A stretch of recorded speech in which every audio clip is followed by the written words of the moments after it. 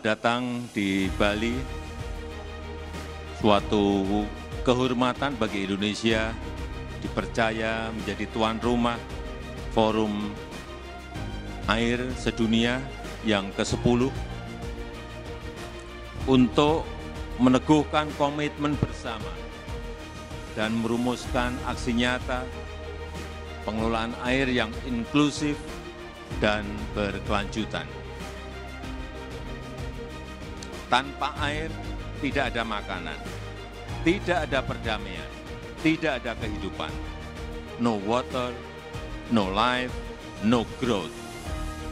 Oleh sebab itu, air harus dikelola dengan baik karena setiap tetesnya sangat berharga.